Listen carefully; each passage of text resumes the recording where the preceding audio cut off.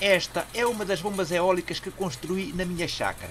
A turbina tem a particularidade de estar fixa e virada para os ventos dominantes. No verão, esses ventos sopram pela frente da turbina e no inverno pela parte de trás, o que faz com que esta bomba funcione durante todo o ano. Nesta altura, ela está precisamente a funcionar com os ventos de inverno que batem nas costas das pás, mas eu hoje quero falar-lhes da turbina eólica que estão a ver em segundo plano, ao fundo à esquerda, e mostrar como ela produz energia com um pequeno gerador muito leve de rodar e que já antes tinha experimentado a funcionar numa bicicleta. Vamos até lá.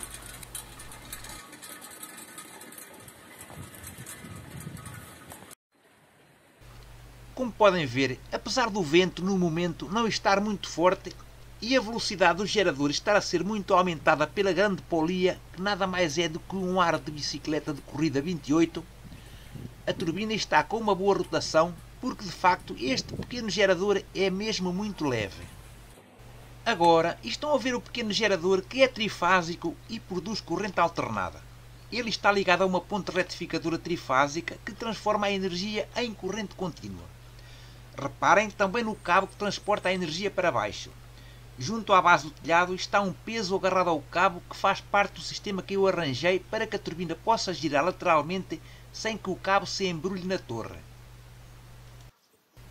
Uma peça colocada no cimo da torre orienta o cabo para a parte giratória do catavento, fazendo com que este se enrole pacificamente nesta parte. Quando a turbina gira para o lado contrário, o peso agarrado ao cabo faz com que este desenrole e deixe também pacificamente. Claro que este sistema está limitado à folga do cabo e ao seu comprimento até ao fundo da torre, que não é muito, mas já está a funcionar assim há bastante tempo e ainda não houve problemas. De resto, o que poderia acontecer era, se fosse ultrapassado o limite, o cabo se desligaria do gerador e teria que voltar a ser ligado.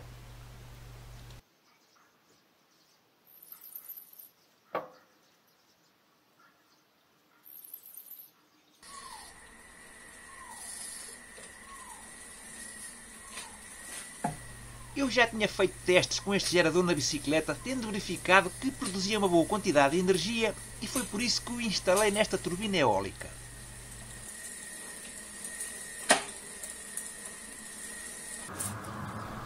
Para isso, apliquei aos braços da turbina um ar de bicicleta para que, tal como acontecia na bicicleta, existisse uma boa multiplicação de rotações.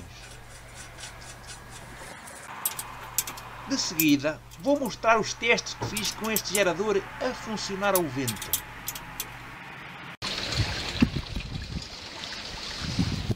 Primeiro, uma pequena demonstração da roda de água da chácara que está a ser movimentada pela água puxada pela bomba eólica que viram no início do vídeo e também os pequenos faróis que estão acesos com a energia produzida pelo gerador.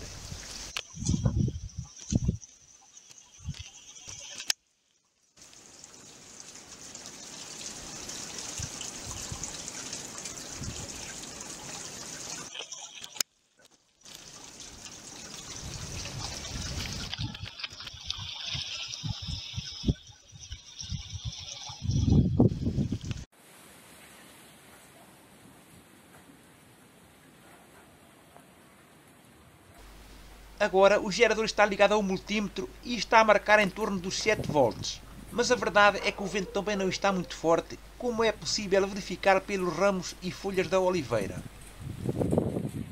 O vento está agora a soprar com um pouco mais de força e o multímetro atinge os 10 volts. Bem, isto comparado com a voltagem que este gerador atingia na bicicleta, onde chegava aos 30 volts, é pouco tendo em conta que a multiplicação de rotações é quase igual. Mas este facto comprova uma vez mais que com o vento não se consegue obter grandes resultados, seja com que tipo de gerador forem. Porque eu já experimentei nesta turbina vários tipos de gerador e nenhum deu grande resultado. E também acontece que o vento, salvo algumas exceções geográficas, não é constante e até pode acontecer que em alguns locais simplesmente se passem vários dias ou até semanas sem vento quase nenhum. Quem não viver numa zona de ventos fortes e constantes e quiser construir uma turbina eólica, dependendo do fim para que a quer, pode ter trabalho em vão e estar simplesmente a perder o seu tempo.